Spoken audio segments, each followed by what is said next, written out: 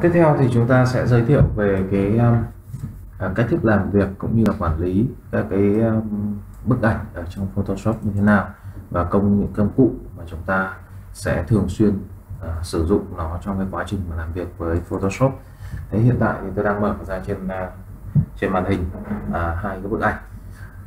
Đây là những cái bài tập uh, mà được uh, hãng Photoshop, uh, hãng Adobe cung cấp đấy như là một cái uh, bài thực hành ban đầu cho những người mà làm quen với lại Photoshop.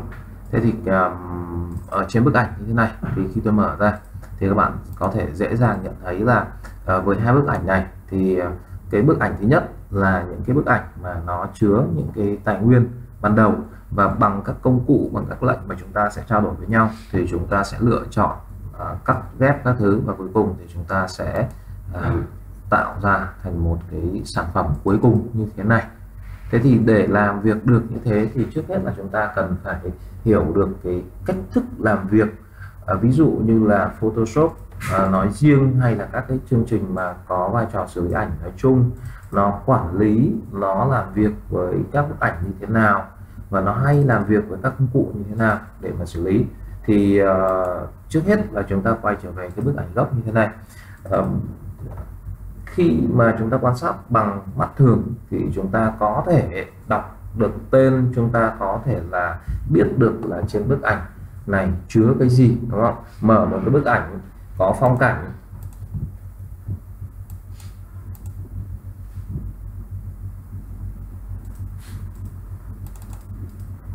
một cái bức ảnh gì đó ra thì chúng ta cũng sẽ thấy là gì đấy chúng ta có thể chỉ ra, chúng ta nói đây là cái gì, đúng không? À đây là tấm vải, đây là người, đây là trời, đây là đây là cỏ. Đó, đây là chữ. Hoặc là mở một cái khác ra, chúng ta có thể chỉ đích xác. Chúng ta có thể nói là ở trên bức ảnh là cái gì. Ở trong này chúng ta có thể chỉ ra à đây là một quả dưa này, đây là một cái lát kiwi này, đây là cái nấm củ này đây là lát là rắm bông lát thịt này. Đó. Đây là quả ốc chó này đây là một cái à, uh, nuôi này đây là một cái à, bó củ vải đỏ vân vân. Đấy là bằng thị giác chúng ta chỉ ra và theo cái biết của chúng ta. Chúng ta nói là trên bức ảnh nó chứa cái gì. À, tuy nhiên là Photoshop nó có hiểu được là trong bức ảnh mà nó đang mở có cái gì ấy không. Đấy, thì uh, câu trả lời luôn là không. Nó có thể có bức ảnh ở trong trong máy nó có thể mở cái bức ảnh đó ra nhưng nó lại không biết được là trong bức ảnh chứa cái gì. Vậy thì là khi chúng ta làm việc thì nó quản lý như thế nào nó làm sao để giúp chúng ta làm việc được với các cái hình ảnh ở trong chương trình mà nó đang mở ra và nó đang quản lý? Thì chúng ta mới uh, tìm hiểu cái cách thức làm việc cách thức quản lý của nó như sau. À, trước hết là chúng ta uh, phóng lớn cái bức ảnh lên để chúng ta xem cận cảnh các bức ảnh một chút thì ờ, ở đây chúng ta sẽ có một số các công cụ giúp cho chúng ta à, phóng lớn lên. Nếu mà chúng ta làm việc với công cụ chuẩn thì chúng ta sẽ có công cụ zoom. Đó là công cụ có hình cái kính lúp ở đây. Và khi các bạn nhấp chọn vào thì các bạn sẽ thấy cái uh, uh, trò chuột nó sẽ chuyển thành hình kính lúp và dấu cộng. Bằng cách là sử dụng cái này chúng ta kích chuột vào cái khu vực chúng ta muốn xem thì kích chuột vào đâu? Thì nó sẽ phóng lớn gấp đôi cái trường nhìn của chúng ta. Đó. Và bằng cách này chúng ta phải phóng lớn một cái vùng lên vùng hình ảnh lên để chúng ta quan sát. Hoặc cũng còn một cách thứ hai là các bạn nhấp giữ chuột thế này. Và các bạn à, kéo dê chuột đi. Tất nhiên là phím trái đúng không? Vẽ thành một cái hình vùng chọn như thế này bằng cái đường đứt đoạn. Và khi chúng ta nhả chuột ra thì những cái vùng hình ảnh mà nằm ở trong cái vùng mà chúng ta vừa vẽ ra đó nó sẽ được phóng lớn lên và, và kín cái màn hình làm việc.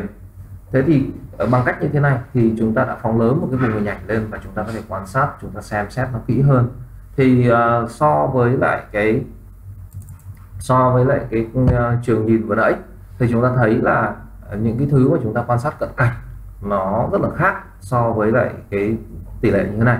Tỷ lệ như thế này chúng ta thấy nó hoàn toàn là ở trơn chu mịn màng rất là đẹp đẽ đúng không? Nhưng khi tôi phóng lớn bất cứ một cái gì lên thì tôi thấy nó trông nó không được mịn như thế nó trông có vẻ lổn nhổn và nó giống như là một cái uh, tranh ghép với lại nhiều cái mảnh nhỏ Đấy. thì có phải chỗ nào cũng như vậy hay không thì chúng ta phóng lớn từng từng khu vực ảnh lên thì chúng ta thấy nó đều giống nhau như thế Đấy. bất kể nó là quả lê hay là nó là quả dưa vàng hay là nó là cái miếng uh, thịt jambon hoặc là cái nấm củ vân vân. Cứ phóng lớn lên thì chúng ta thấy là nó là tổ hợp của rất là nhiều các hình vuông nhỏ với các màu sắc sáng tối đậm nhạt khác nhau sắp xếp lại cùng nhau trở thành tổ hợp trở thành những cái hình mà chúng ta đang nhìn thấy. Chúng ta gọi nó là quả dưa hay là gọi nó là cái nấm. Thế thì uh, sau khi mà phóng lớn hết tất cả khu vực lên và quan sát thì đều gặp một cái ờ, tình trạng chung là như thế. Thì chúng ta đi tới kết luận rất là đơn giản như sau. Các bức ảnh này thì thực ra là nó được xây dựng bằng tổ hợp của rất nhiều các cái hình vuông nho nhỏ. Đấy và mỗi hình vuông đó thì nó sẽ chứa một màu sắc nào đó. Và nếu như chúng ta ví von thì chúng ta sẽ thấy nó hơi hơi giống như là um, nó hơi hơi giống như là cái um, cái trò chơi mà xếp xếp hình đó à, một cái bức ảnh được chia ra làm nhiều ô nhỏ khác nhau.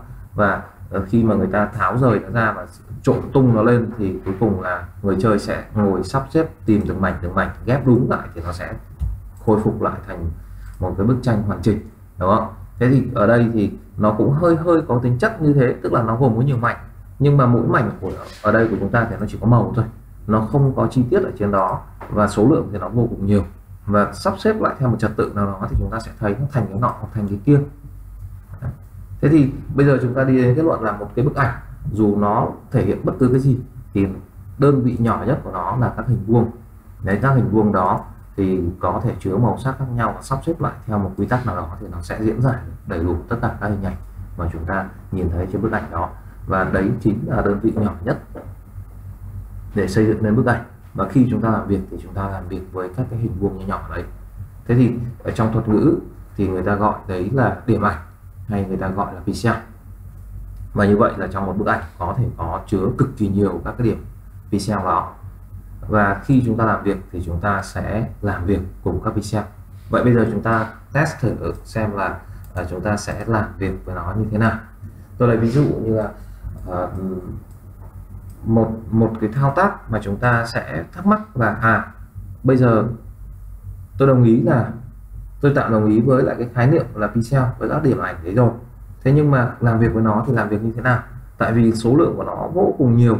À, bây giờ tôi cũng không biết là làm việc với điểm ảnh nào và không làm việc với điểm ảnh nào. Lấy ví dụ như là tôi muốn tô một cái màu nào đó chẳng hạn như là quả dưa này chẳng hạn tôi muốn tô cho nó thành quả dưa màu xanh chẳng hạn không phải là quả dưa vàng nữa. Thế thì phép tô thì ờ, tôi có một lệnh đó là lệnh edit fill hoặc là các bạn có thể gọi nó bằng phím shift F5 à, ờ, mở cái này ra thì tôi có thể là chọn bằng cái lệnh là color ở đây chẳng hạn và tôi sẽ bấm chọn vào cái màu xanh tôi muốn. Sau đó nhấp ok để xác nhận cái màu tôi muốn tô. Nếu như bây giờ tôi nhấp ok nữa thì nó sẽ tô và ý đồ của tôi là tôi muốn tô cái màu xanh vào trong quả dưa để cho nó trở thành quả dưa xanh, giống như quả dưa hấu, chứ nó không phải quả dưa vàng như này chẳng hạn. Bây giờ tôi nhấp ok, xem xem kết quả nó sẽ đạt được như thế nào. Thì thay vì việc là giống như trong suy, giống như trong suy nghĩ của tôi là tôi muốn tô vào cái quả dưa cơ. Thế nhưng mà rõ ràng kết quả nó không được như mong muốn của tôi. Toàn bộ bức ảnh đã được tô một màu xanh lè giống như nhau và tất cả các chi tiết vốn có đã bị mất. Toàn bộ cái điểm ảnh đều được tô màu xanh. Lý do vì sao như thế? Rất đơn giản là tất cả các điểm ảnh thì nó đang được coi như nhau. Và tôi không có một cái thao tác đánh dấu, không có một thao tác lựa chọn, không có một cái thao tác nào đó để báo cho chương trình biết là tôi muốn tô vào trong cái vùng mà chứa cái hình quả dưa màu xanh kia kìa. Còn các vùng khác thì không do đó thì nó sẽ hiểu một cách rất là đơn giản là có bao nhiêu pixel có bao nhiêu điểm ảnh thì nó sẽ tô tất vào đấy. Và kết quả của chúng ta nhận được là một cái hình xanh lè như thế này. Thế vậy thì bây giờ uh, chúng ta muốn làm việc ở đâu thì chúng ta phải báo cho chương trình biết là tôi muốn làm việc ở đây và không muốn làm việc ở kia đó rất là đơn giản để thôi. Và bây giờ tôi ờ, công Ctrl Z tôi lui lại một bước. Thế thì bây giờ làm thế nào để mà đánh dấu? Để đánh dấu được thì chúng ta phải lựa chọn.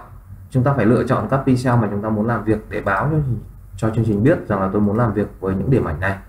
À, vậy thì à, nó sẽ phát sinh ra một khái niệm gọi là vùng chọn hay là khái niệm lựa chọn. Đấy lựa chọn những pixel được phép làm việc hay là mong muốn làm việc. Thế và đấy là lý do để mà chúng ta có các công cụ được gọi là công cụ chọn. Và chúng ta sẽ làm quen với ba nhóm công cụ chọn đó bao gồm là công cụ Marquee công cụ này thì gồm có hai loại chính. Vẽ ra các Marquee hình chữ nhật và hình elip. Nhóm thứ hai là nhóm công cụ Lasso Lasso thì gồm có ba cái. Lasso Lasso thông thường Lasso dạng uh, đa giác và Lasso dạng magnetic. Và cuối cùng chúng ta có một cái nhóm gồm có hai cái công cụ là công cụ Magic One công cụ đỡ thần và công cụ Quick Selection Tool à, tất cả các công cụ này à, sau khi chúng ta làm quen chúng ta sẽ biết các cách thức khác nhau để lựa chọn các điểm ảnh. Và do nó cùng có cái vai trò là lựa chọn các điểm ảnh và nó là những thao tác mà chúng ta phải làm việc đầu tiên khi mà muốn làm việc với các bức ảnh. Cho nên là nó được ưu tiên nó sắp xếp ngay trên đầu của công cụ giúp chúng ta chọn lựa các điểm ảnh trước khi mà chúng ta thao tác. Thế trước khi mà chúng ta làm việc sâu với lại các công cụ này thì chúng ta mới xem xét về cái hình ảnh của vùng chọn nó như thế nào thì tôi có thể lấy ờ, một công cụ ví dụ như công cụ à, Maki ở đây. Và tôi nhấp chuột tôi vẽ ra. Thì các bạn sẽ thấy rằng là khi mà tôi vẽ ra thì um, tôi có thể tạo ra một cái vùng có thể to có thể nhỏ có thể ngắn có thể dài. Nhưng mà nói chung là gì? Nó là một vùng được vẽ ra và giới hạn bởi những cái ờ, đường uh, rìa đứt đoạn như thế này. Đấy. Ờ, chúng ta còn là có một cái khái niệm nữa mà người ta gọi đấy là cái đường tiến bò đấy, hoặc là đây gọi là vùng chọn đấy. thế mà vùng chọn này thì nó sẽ giúp chúng ta làm cái gì? Vùng chọn này sẽ giúp chúng ta là xác nhận rằng là những cái điểm ảnh nào nằm trong khu vực này thì được phép làm việc và điểm ảnh nào không nằm trong khu vực này thì các lệnh đó nó không tác động đến. Tôi lấy ví dụ như chúng ta quay trở lại cái lệnh cũ vừa nãy đúng không? Phim tôi lại chọn cái màu xanh như vừa nãy chẳng hạn tôi tô thì các bạn nhìn thấy là bây giờ màu xanh đã được tô một cách có chủ đích có giới hạn. Và nó chỉ nằm ở trong cái phạm vi uh, cái vùng chọn mà tôi vừa mới vẽ ra.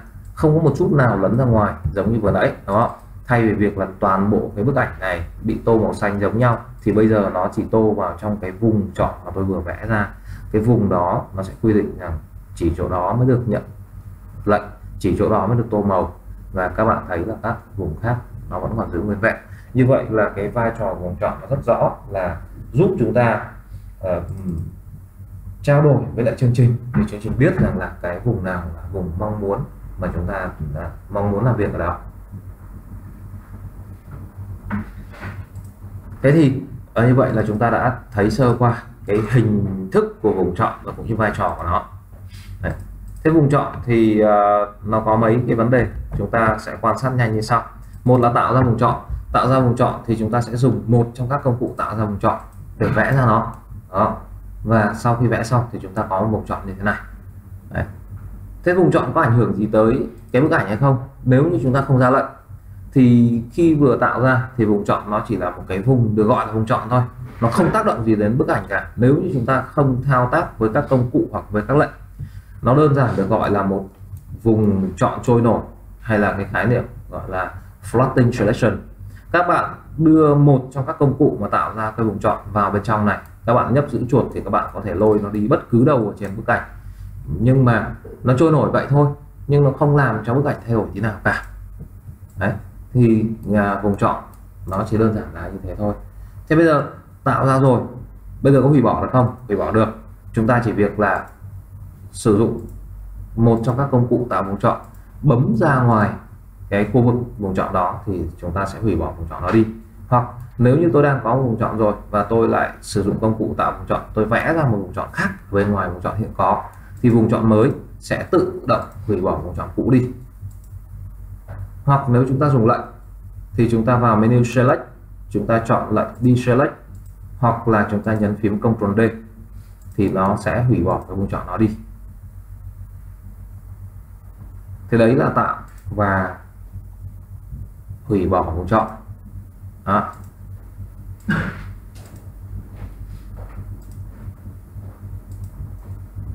thế và tất cả những cái gì mà liên quan tới vùng chọn thì chúng ta sẽ tìm kiếm hoặc là lưu giữ hoặc là thao tác, gọi lệnh thì nó đều nằm ở trong menu select này, nếu như liên quan tới vùng chọn bây giờ chúng ta sẽ làm việc à, với lại một số các khái niệm tức là chúng ta vừa làm việc với khái niệm chúng ta vừa làm quen với cái nhóm công cụ đầu tiên là công cụ rectangular marquee ở trong nhóm công cụ marquee.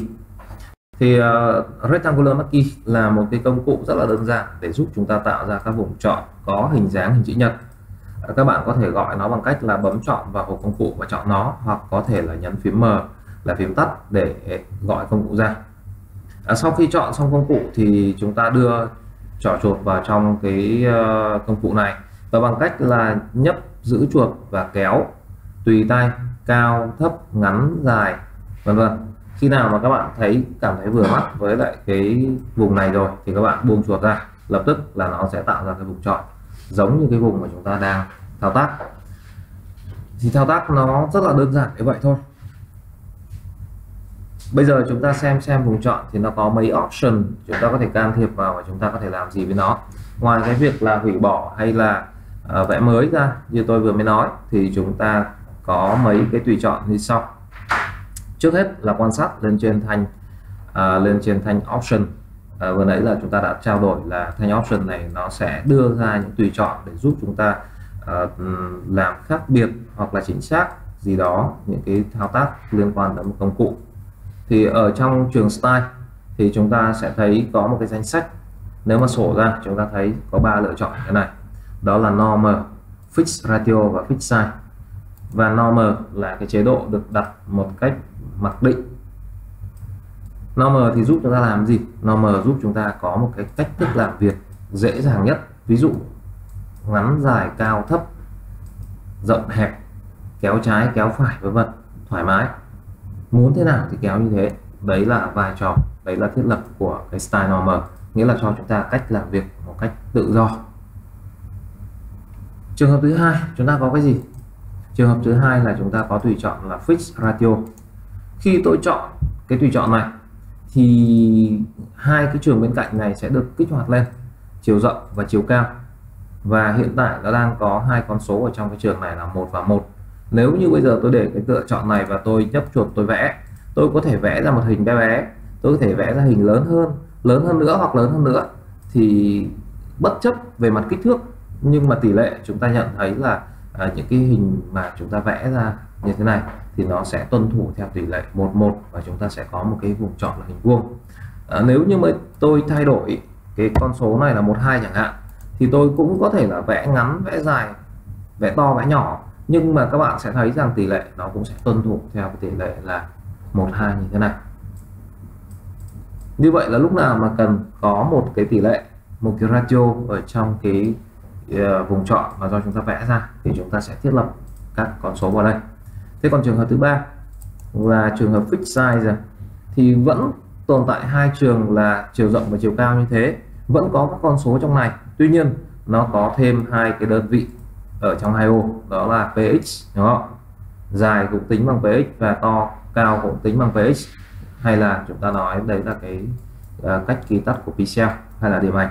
Và đây nó sẽ giúp cho chúng ta làm sao đây ạ? Nhấp chuột một cái là lập tức là nó vẽ ra một cái vùng chọn có cái kích thước đúng bằng cái tham số mà chúng ta đang điền ở trong này. Thực ra thì uh, nếu mà các bạn mở ra lần đầu thì nó sẽ là 60 uh, 60 mấy pixel đấy nhân 60 pixel. Đó 64 pixel nhân 64 pixel. Và nó sẽ là một cái hình vuông. Đó. Nếu như là là mặc định các bạn chưa có thay đổi gì cả thì nó sẽ là như thế. Đây và cách thức của nó làm gì? Các bạn chỉ việc nhấp chuột thôi. Không cần phải kéo gì cả. Và tại cái điểm mà nhấp chuột chúng ta sẽ được tính là góc trên bên trái của cái vùng chọn và nó sẽ tự động là vẽ sang bên phải và xuống phía dưới làm sao cho chính xác luôn cái vùng chọn chứa từng đấy các pixel theo chiều ngang và chiều dọc. À, thế thì um, có hai cái vấn đề mà chúng ta cần quan tâm là chế độ nào là cái chế độ mà chúng ta sử dụng nhiều hơn và trong trường hợp nào thì chúng ta sử dụng các cái chế độ nào đó. Thì um, thực ra thì trong thao tác thì chúng ta sẽ sử dụng cái normal này là nhiều nhất. Nó cho phép chúng ta thao tác một cách dễ dàng nhất và linh hoạt nhất. Đấy. fix ratio thì chỉ những cái trường hợp nào mà các bạn cần phải có một cái tỷ lệ đòi hỏi rất là chặt chẽ thì các bạn mới sử dụng cái tùy chọn này. Tuy nhiên uh, trừ các cái tỷ lệ mang tính khác biệt còn nếu như như cái mặc định ban đầu ấy, mà cái tỷ lệ một một ấy thì đôi khi là chúng ta không cần. Các bạn chỉ cần là để chế độ normal này và khi các bạn kéo chuột thì các bạn nhấn giữ thêm phím shift cho tôi thì tự nó sẽ khóa cái tỷ lệ vào cái chế độ 11 rồi. Cho nên là chúng ta cũng không nhất thiết là cần phải uh, chuyển sang cái chế độ ờ, ờ, uh, uh, fix ratio nữa. Nếu mà khác 11 thì lúc ấy các bạn mới phải mới phải chọn thôi. Thế còn uh, trường hợp fix size thì chúng ta sử dụng trong trong cái công việc như thế nào? Bất cứ công việc nào đòi hỏi một sự chính xác đến từng điểm ảnh thì lúc đó chúng ta mới sử dụng cái công cái công cụ với cái tùy chọn này. Chẳng hạn như là lúc đầu tiên các bạn thấy tôi mở ra và có một cái tùy chọn chẳng hạn như tùy chọn này chẳng hạn. Đây này icon uh, uh, iconography này chẳng hạn. Vẽ các cái biểu tượng vẽ các icon cho cho di động chẳng hạn thế thì cái diện tích của cái uh, của một cái, cái, cái, cái màn hình nó không có nhiều đó và nó đòi hỏi một sự chính xác uh, tuyệt đối ở trong cái thiết kế để làm sao nó cho nó không bị co duỗi nó không bị sai lệch. Thì lúc này chúng ta mới cần tới những cái công cụ mà nó giúp chúng ta vẽ ra các cái vùng chọn lựa chọn các vùng chọn thật là chuẩn xác không nằm ra ngoài yêu cầu thì khi nào mà chúng ta thiết lập những cái icon này chẳng hạn hoặc đôi khi chúng ta làm các cái giao diện cho uh, chương trình chạy trên nền tảng di động hoặc là chúng ta đôi lúc là thiết kế web vân vân thì chúng ta mới cần tới cái chế độ gọi là tính theo cái pixel này thôi fix size này thôi.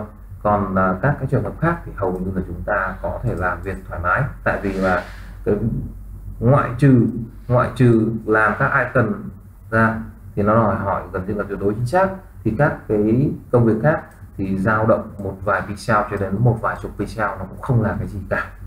Đấy, thì chúng ta cũng không nhất thiết là phải sử dụng cái fix size này. Đấy, trừ trường hợp tuyệt đối chính xác thì lúc ấy chúng ta mới phải gọi cái này thôi. Do đó thì normal chính là cái chế độ mà chúng ta sẽ uh, sử dụng thường xuyên nó tạo cho chúng ta cái thao tác nó rất là thoải mái. Thứ nữa là chúng ta có một cái um, khái niệm nữa là cái khái niệm mà thêm hay bớt hay mở rộng vùng chọn, vân vân. Thế thì bây giờ chúng ta mới à, quan sát như sau. Cái vùng chọn sau khi vẽ ra rồi thì nó là một cái vùng trôi nổi, đó. Nó là vùng trôi nổi, các bạn có thể đưa chuột vào và các bạn kéo nó, di nó đi tới cái chỗ mà các bạn muốn. Tôi lấy ví dụ như là tôi muốn chọn cái quả dưa này chẳng hạn. Đơn giản là tôi sẽ vẽ một cái vùng chọn bao quanh nó và như thế là tôi chọn được nó tất nhiên là còn dính thêm một ít nền trắng. Tuy nhiên trong một vài trường hợp chẳng hạn như là tôi vẽ ra đây tôi ờ, bị tuột tay chẳng hạn tôi buông tay ra thì ờ, cái công cụ Maki này nó dừng lại và nó sẽ vẽ cho tôi một cái vùng chọn đúng bằng cái uh, thao tác của tôi thôi. Và nếu như bây giờ mà tôi kéo cái này xuống thì nó cũng không chọn lựa được toàn bộ quả dưa. Đấy. kéo lên đầu này thì hở cái chân kéo xuống chân thì hở cái đầu. Và như vậy là nó không lấy được hoàn toàn quả dưa cho tôi ở thế bây giờ có hai phương pháp. Một là tôi muốn uh, vẽ lại một cái khác to hơn để lấy được toàn bộ quả dưa hai là tôi điều chỉnh nó để có thể là rộng ra lấy được đủ quả dưa bỏ đi thì đơn giản rồi đúng không? Chỉ cần bấm ra ngoài và vẽ lại một hình khác thì như vậy là chúng ta sẽ có hình mới bao lấy được cái khu vực chúng ta cần. Còn nếu như mà chúng ta giữ ở góc độ là nó bé và bây giờ chúng ta điều chỉnh thì chúng ta có hai cách như sau một là chúng ta sử dụng cái lệnh ở trong menu select. Lệnh này thì chúng ta vào menu select và chúng ta chọn vào cái lệnh transform selection.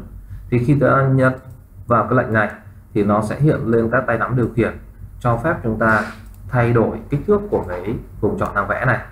Và sau khi mà chúng ta nhấp vào một trong các điểm điều khiển này và chúng ta kéo dài hoặc rộng hơn, thì chúng ta bao được toàn bộ cái khu vực vùng ảnh mà chúng ta muốn lấy à, các bạn cảm thấy là ok rồi thì các bạn thực hiện một trong ba thao tác sau để kết thúc công việc. Một là các bạn nhấp đúp chuột hai là các bạn nhấn phím enter trên bàn phím và ba là các bạn à, bấm vào cái nút uh, commit ở trên uh, thành option trên này. Ba cái thao tác đó có tác dụng như nhau có nghĩa là xác nhận rằng là cái thao tác chỉnh sửa cái vùng chọn này về mặt diện tích là kết thúc và chúng ta sẽ có một cái vùng chọn được nới rộng ra và nó chứa được toàn bộ cái vùng chứa quả dưa này. Thế còn một cách khác nữa, chúng ta có thể làm như sau. Đó là tôi thêm vào cái vùng chọn vốn có một cái vùng chọn nữa để mà mở rộng ra hơn. Thì cách thức làm như sau. Chúng ta sẽ giữ phím shift ở trên bàn phím và tiếp tục vẽ một cái vùng chọn thứ hai, thứ ba. Thì khi chúng ta vẽ ra vùng chọn này thì nó sẽ Ờ, giúp chúng ta mở rộng cái vùng chọn ra. Ở đây có mấy vấn đề. Nếu như vùng chọn cũ, đây, vùng chọn cũ là vùng này và vùng chọn mới mà chúng ta vẽ ra mà nó giao nhau, nó giao vào nhau thì nó sẽ làm sao nó sẽ hòa vào làm một và nó mở rộng ra như thế này. Nếu như nó không giao vào nhau thì nó sẽ tạo ra một vùng tồn tại song song. Vùng có nhiều mảnh. Đấy và ở đây theo các bạn thì đây là uh, một vùng chọn hay đây là một hai ba bốn năm vùng chọn ạ? Đây là một hay là năm?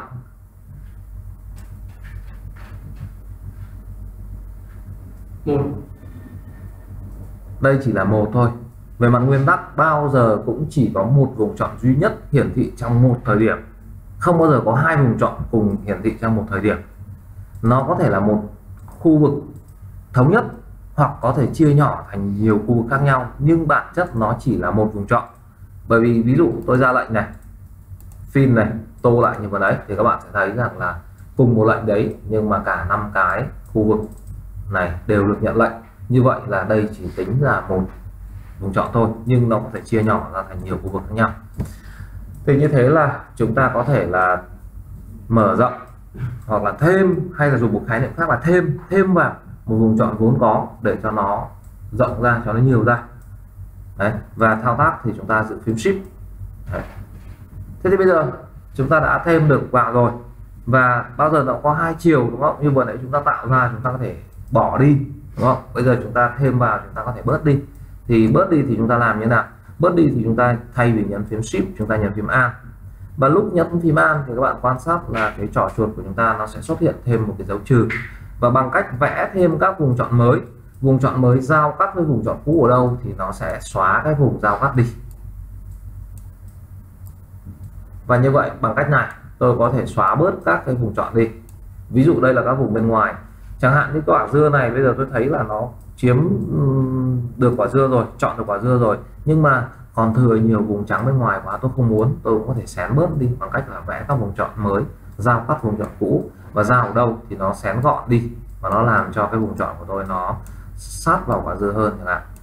Đây, bằng cách như thế này thì tôi sẽ xén nhỏ bớt cái vùng chọn đi. Thì chúng ta giữ an trong thao tác. Lưu ý là có dấu trừ, đúng không? vẽ ra vùng chọn mới, giao cắt vùng chọn cũ ở đâu thì nó sẽ cắt. Phần ra nhau đi không giao nhau thì có ảnh hưởng gì không? Không. Không giao nhau thì không có gì mất đi cả. Chỉ có phần vừa mới vẽ mất đi thôi. Đấy. và nếu như các bạn để ý một chút thì có sự thay đổi ở trên ở trên cái uh, một số các icon các uh, hình ảnh ở trên đầu thành option này. Nếu mà tôi không nhấn phím nào thì nó sẽ để ở chế độ này. New selection. Nếu tôi nhấn phím shift nó sẽ chạy sang cái biểu hiện thứ hai. Đó là gì ạ? Add to selection, tức là thêm vào với một vùng chọn đã có. Nếu tôi nhấn an thì nó sẽ chuyển sang gì đấy ạ. Chuyển sang cái chế độ thứ ba. Này.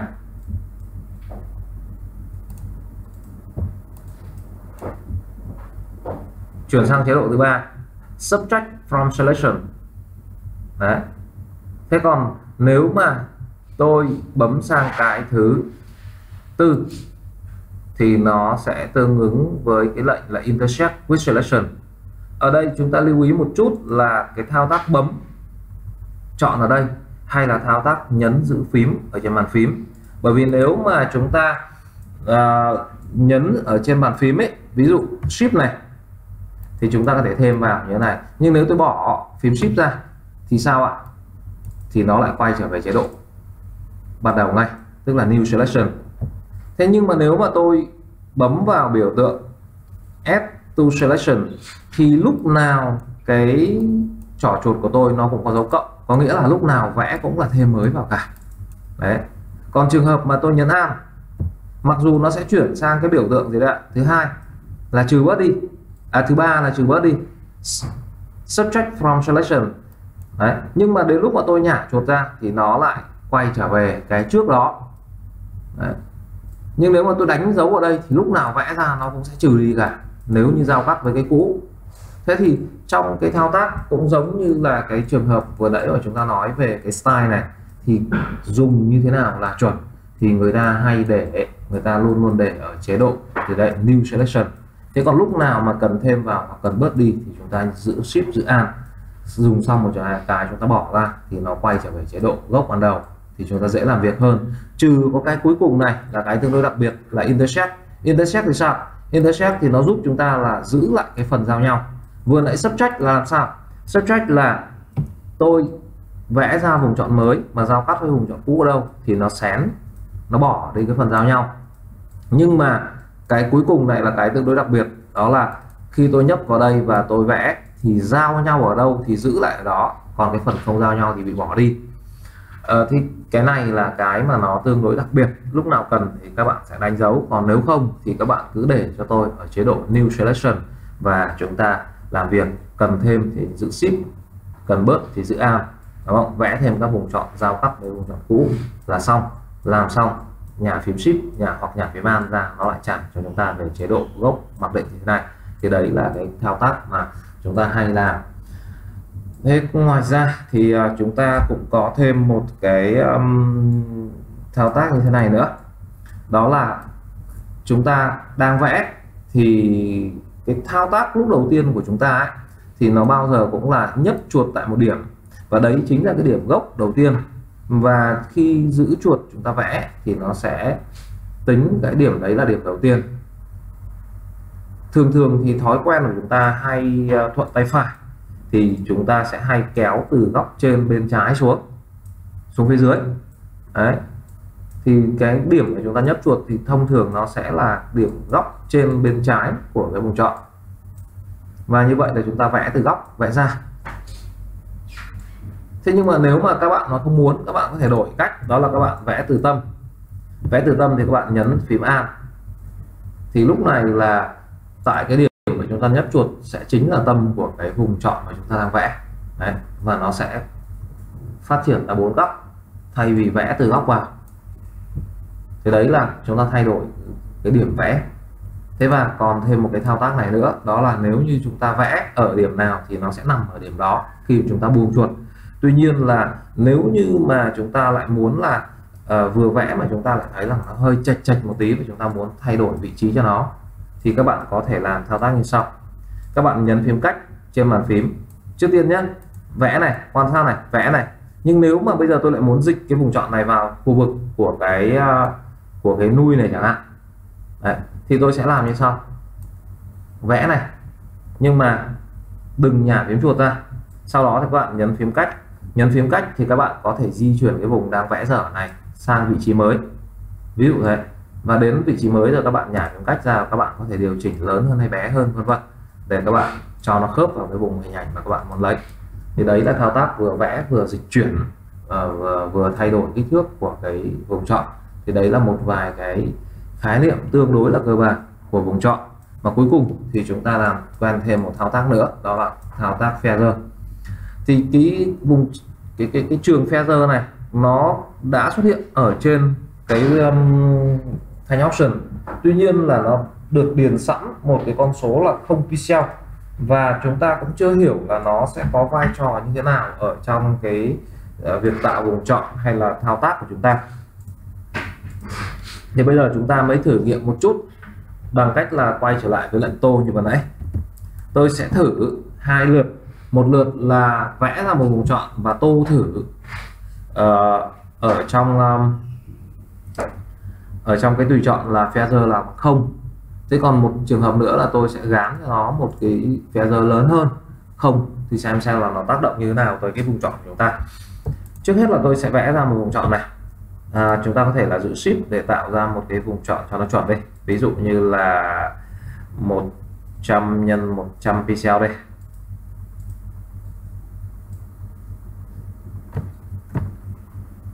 này tôi có một vùng chọn này 100 nhân 100 pixel.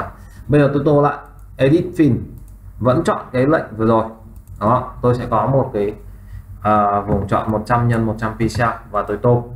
Uh, mọi người thấy là màu sắc nó tô đều đặn ở trong này. Trái cũng như phải trên cũng như dưới trong cũng như ngoài. Của cái vùng này là tô đều màu nhau. Và không có một tí đẹo màu nào lấn ra khỏi cái phạm vi của cái vùng chọn này cả thì đấy là một kết quả cũng tương đối quen thuộc như là các ví dụ trước chúng ta đã làm. Bây giờ tôi lại lặp lại cái thao tác này, nhưng mà lúc này thì tôi sẽ gán một cái thao, tham số khác đi. Ví dụ gán tham số là 10 pixel chẳng hạn. Và bây giờ tôi sẽ bắt đầu là vẽ một cái vùng chọn cũng tương tự như vậy. Tôi cũng sẽ vẽ lấy một cái vùng là 100 x 100 pixel. Đó. Và bây giờ tôi nhả chuột ra. Điểm đầu tiên mà mọi người nhận thấy rất là dễ đó là khi tôi nhả chuột ra thì cái vùng chọn này của tôi nó không có hình vuông thông thường mà nó trở thành cái hình vuông có bo tròn góc. Nó khác với cái vùng chọn à, 100 100 pixel vừa nãy tôi làm. Bây giờ tôi thử nghiệm tiếp đến bước thứ hai là tôi sử dụng lệnh fill như vừa nãy và kết quả là đây các bạn nhìn thấy cái kết quả mà chúng ta nhận được sau khi mà chúng ta tô màu vào một cái vùng chọn mà có phe dơ thì nó khác biệt rất là nhiều so với một cái vùng chọn không có phe dơ hay là phe dơ bằng không. Thì các bạn nhìn thấy là à, thứ nhất là màu sắc nó không chỉ tô ở trong phạm vi vùng chọn. Trước đấy thì chúng ta thấy vùng chọn ở đâu thì nó tô đến đấy và không vượt ra khỏi cái phạm vi vùng chọn. Nhưng bây giờ thì mặc dù vùng chọn vẫn có nhưng chúng ta đã thấy là màu nó tô ra phía ngoài chứ không phải chỉ nằm toàn bộ phía trong vùng chọn nữa. Nó lấn ra phía ngoài rồi. Thứ hai là màu sắc nó không đồng nhất. À, màu ở tâm thì đậm màu ở phía rìa thì nhạt và vượt ra khỏi vùng chọn thì còn nhạt hơn nữa. Như thế là khi mà chúng ta gán một feather cho một cái vùng chọn thì có nghĩa là chúng ta chấp nhận hai điều.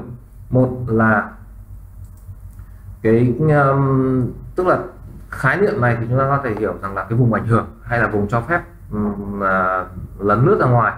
Đấy thì từ cái đường ranh giới của vùng chọn này thì feather gán là bao nhiêu pixel thì có nghĩa là cho phép là cái lệnh hoặc thao tác mà chúng ta làm ở trong này có thể lấn ra phía ngoài theo cái con số mà chúng ta đã thiết lập này.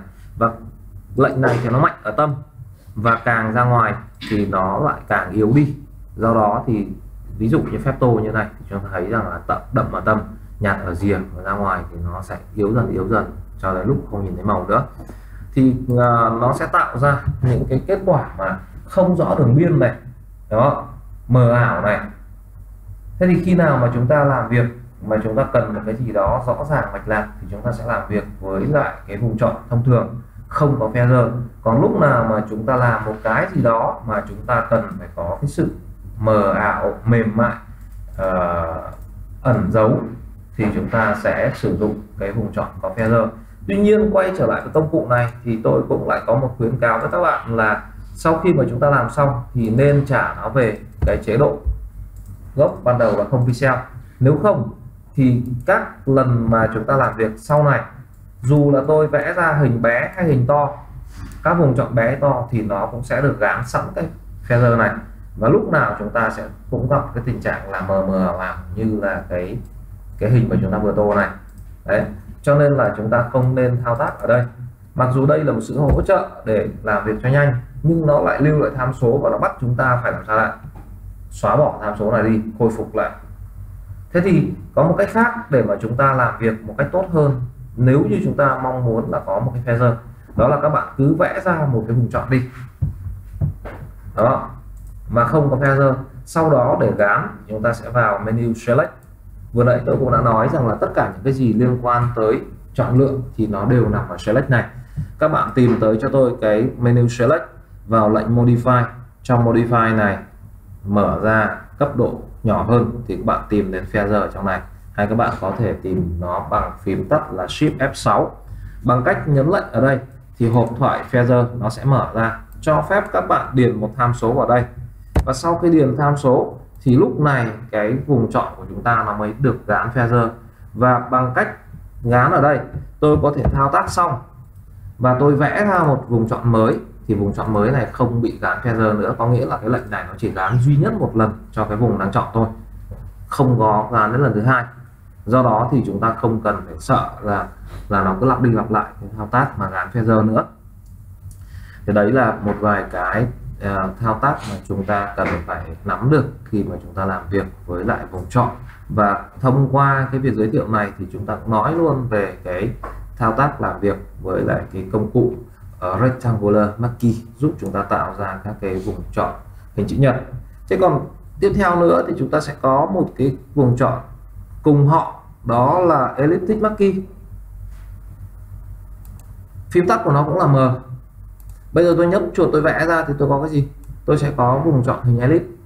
Đấy, thao tác thì giống hệt nhau các option giống hệt nhau chỉ khác nhau là về cái uh, khác nhau về cái cái cái hình dáng thôi. Thay vì là hình chữ nhật thì bây giờ tôi có hình hình elip. Các cái style này norm fix ratio hay fix size thì chúng ta cũng sẽ thấy nó giống như là cái vùng chọn hình chữ nhật. Rồi các cái option ví dụ như là các cái ờ, thêm vào bớt đi hay là giữ lại phần giao nhau hoặc là giữ ship, giữ an, vân vân thì chúng ta cũng sẽ thấy nó giống hệt như là công cụ kia thôi. Kể cả feather cũng thế. Tuy nhiên là chúng ta nhận thấy là nó có một cái tùy chọn mới được kích hoạt lên khi mà chúng ta chuyển sang công cụ này. Đó là cái checkbox anti alias này. Thì khi tôi chọn cái công cụ rectangular này thì cái này bị mờ đi, không xuất hiện.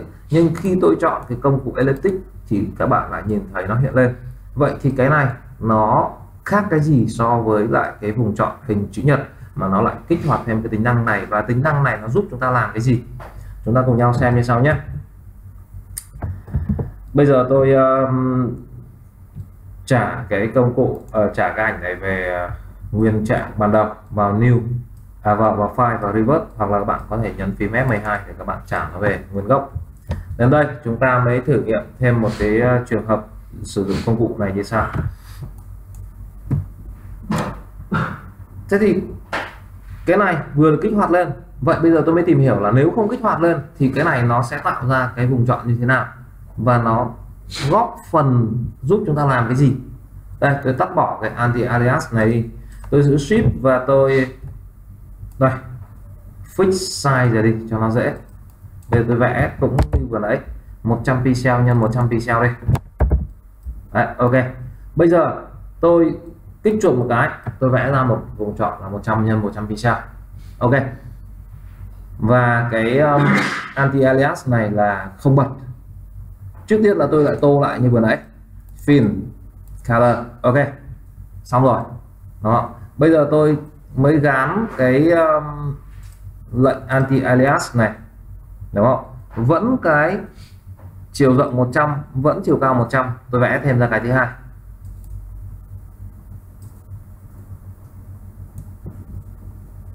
Bây giờ tôi lại tô. Edit fill chúng ta quan sát xem nó khác nhau cái gì nhá.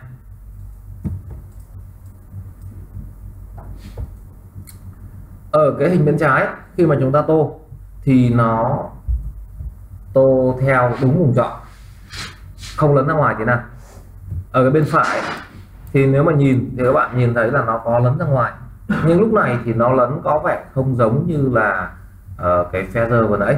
Feather thì nó lấn nhiều hơn lấn xa hơn. Ở đây thì chúng ta chỉ thấy nó lấn một chút thôi. À, có một chút câu hỏi như thế này tôi tôi cũng muốn nêu ra thêm. Khi mà tôi vẽ ra một cái vùng tròn như thế này tôi bảo là đây là tròn. Theo các bạn có vùng tròn ở trong cái vùng chọn này không ạ? Có thể tạo ra một cái vùng chọn hình tròn này không ạ? Có thì lý do tại sao mà không thì lý do tại sao? Không thể vì sao ạ? Vì bản chất nó là cái hình vuông tạo nên. Ok.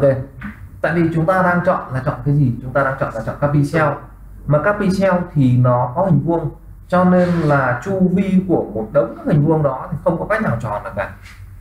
Đây chúng ta phóng lớn chúng ta quan sát ở đây thì các bạn sẽ nhìn thấy rằng là do nó chọn theo các pixel hình vuông thì nó sẽ tạo nên các hình dích rắc hình uh, bậc thang như thế này hoặc là răng cưa như thế này. Thế thì do cái tính chất là không thể tròn thì cái tùy chọn anti alias này nó mới ra đời là để giúp chúng ta giải quyết cái vấn đề đó nếu như mà chúng ta quan sát cái hình mà được tạo ra bởi cái vùng chọn mà không có anti alias thì chúng ta sẽ thấy rằng khi tô màu ở đây hay khi chúng ta thao tác, thì nó vẫn tuân thủ theo đúng vùng chọn đó và nó tạo ra một cái cảm giác là gai, cái cái cái cái cái đường biên. Thế nhưng khi mà tôi làm việc với anti alias thì nó giúp chúng ta làm cái gì? Nó giúp chúng ta là đánh lừa mắt để tạo ra một cảm giác có vẻ tròn và nó bù các điểm ảnh vào những cái điểm mà gãy này. Đấy, bù bằng cách nào? Bù bằng cách là lấy cái màu ở bên trong được tô và tô chuyển dần ra cái màu nền ở phía bên ngoài. Đấy, và nó tô bù vào những cái điểm gãy, điểm điểm điểm lồi lõm ở đây. Và bằng cách như thế này thì chúng ta sẽ thấy, đây, tôi giảm tất cả về cái kích thước gốc của đối tượng, đúng không? Đây bằng mắt thường chúng ta cũng sẽ có thể nhìn thấy, mặc dù bé hay là to, chúng ta thấy cái hình ở phía bên phải, trông nó có vẻ mịn hơn so với cái hình phía bên trái. Hình bên trái là hơi gai hơn. Không nhất thiết là phải phóng lớn lên, chúng ta vẫn có thể quan sát thấy là nó tương đối là khác biệt nhau. Thì cái tùy chọn anti alias thì chính là để giải quyết cái vấn đề là tô bù vào những điểm gãy của vùng chọn, để giúp đánh lừa mắt, cho chúng ta có cảm giác rằng đấy là một đường cong, đấy là một đường tròn đấy. Và nó chỉ xuất hiện khi mà chúng ta tạo ra các vùng chọn mà nó có tính chất cong thôi. Đường thẳng thì không cần bù tại vì nó rất là rõ ràng rồi. Thế như vậy là chúng ta đã làm quen được những cái khái niệm cơ bản của cái vùng chọn cũng như là cái nhóm vùng chọn chẳng hạn như là ờ, uh, Maki đấy.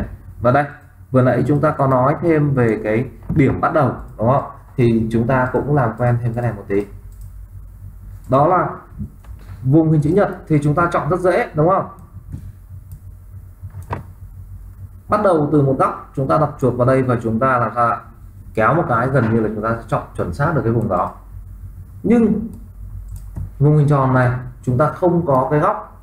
Do đó, nếu như mà chúng ta vẽ ra một vùng chọn rất khó để chúng ta có thể vẽ một cái khớp luôn được cái hình này. Bao giờ nó cũng là ít lệch nhiều vậy thì chúng ta làm hai cách như chúng ta vừa trao đổi vừa nãy. Một là thay vì ở góc, chúng ta cố gắng là xác định cái tâm, nhấn an và chúng ta vẽ ra, thì nó có lẽ là nó sẽ dễ dàng nó khớp vào cái hình của chúng ta. Đấy, nếu chúng ta xác định được tâm. Thế còn một cách nữa là chúng ta vừa vẽ, vừa dịch chuyển, thì chúng ta có thể làm tốt hơn. Đó là cứ vẽ ra một vùng chọn thì đã. Đừng nhả phím chuột ra, sau đó nhấn phím cách nhấn phím cách thì chúng ta có thể di chuyển nó tới cái vị trí mới. Dịch tới đâu? Chúng ta sẽ dịch tới đỉnh, dịch tới cạnh trái. Tới đây thì tôi buông phím cách ra và tôi vẽ tiếp, kéo nó xuống dưới tiếp để dịch sang phía dưới và dịch sang phía phải. Nếu như chưa hoàn toàn khớp, các bạn có quyền là nhấn phím cách, các bạn đẩy lên hay đẩy sang, đẩy ra, đẩy vào một tí và điều chỉnh nó cho tới khi nào khớp. Khớp rồi thì các bạn nhả chuột ra thì đây là một cách rất là tốt để mà chúng ta vừa vẽ, vừa dịch chuyển, vừa điều chỉnh cái kích thước của vùng chọn và bằng cách như thế này thì chúng ta có thể là vẽ rất là tốt, bám vào một cái hình tròn nào đó một cách chính xác hơn. Thế và cuối cùng thì chúng ta sẽ giải đáp thêm. Ở đây chúng ta còn có hai cái tùy chọn nữa, hai cái công cụ nhỏ nữa là single row và single column. Thì nó giúp chúng ta làm cái gì? Cái này thì rất đơn giản. Một là single row nó giúp cho chúng ta tạo ra một vùng chọn luôn luôn chỉ cao bằng một điểm ảnh thôi. Và rộng thì nó rộng bằng toàn bộ cái bức ảnh. Ảnh rộng bao nhiêu nó sẽ rộng bấy nhiêu. Đấy. Và cao chỉ bằng một điểm ảnh thôi. Còn cái dạng thứ hai là gì? Single column. Thì cái này ngược lại là rộng chỉ một điểm ảnh và cao bằng cái ảnh. Ảnh cao bao nhiêu thì cái vùng chọn này nó sẽ cao bấy nhiêu các option còn lại thì không có, tại vì là nó nó không thể chọn được kiểu đó. Tại vì là nó có một tham số thì bị cứng lại là một pixel. Thế còn một tham số còn lại là không xác định, cho nên là các option không làm được. Tuy nhiên, có thể giữ shift hoặc giữ an để mà gì đấy, thêm vào vùng chọn hoặc bớt đi vùng chọn. Đấy, thì cái này thì vẫn làm được. Thế và còn một điều nho nhỏ là làm việc bằng phím tắt. Như lúc đầu tôi nói với các bạn là làm việc bằng phím tắt sẽ giúp các bạn tăng tốc độ làm việc lên cao hơn so với cái việc là các bạn phải trỏ chuột rất lâu từ một cái vị trí nào đó lên trên này để các bạn gọi công cụ. Tuy nhiên là chúng ta nhìn thấy ở đây nó có hai cái phím tắt là giống nhau. Công cụ rectangular marquee và công cụ elliptic marquee đều phím tắt là M. Vậy thì chúng ta làm cái thao tác gọi đó thì chúng ta làm như thế nào? Tôi nhấn M nhé. Thì nó gọi ra thằng elliptic. À, à, rectangular đúng không? tôi nhấn mở thêm một lần nữa. Không có gì thay đổi cả. Vậy thì làm thế nào để gọi tiếp cái thằng thứ hai? Thì chúng ta sẽ làm như sau. Giữ shift và nhấn thêm một lần nữa thì nó sẽ chuyển sang công cụ thứ hai. Giữ shift nhấn một lần nữa thì nó quay trở về công cụ thứ nhất. Có nghĩa là các công cụ mà có phím tắt giống nhau thì chúng ta nhấn giữ thêm phím shift để chúng ta quay vòng chúng ta chọn công cụ. Và cái thao tác này thì dùng chung cho tất cả các cái công cụ mà có chung phím tắt với nhau không riêng gì công cụ Maki này. Cái đấy là các thao tác cơ bản chúng ta vừa trao đổi với nhau về vùng chọn nói chung cũng như là về cách thức làm việc của cái nhóm công cụ Maki bao gồm rectangular Maki và elliptic Maki cung cấp cho chúng ta hai dạng vùng chọn là hình chữ nhật và hình uh, hình elip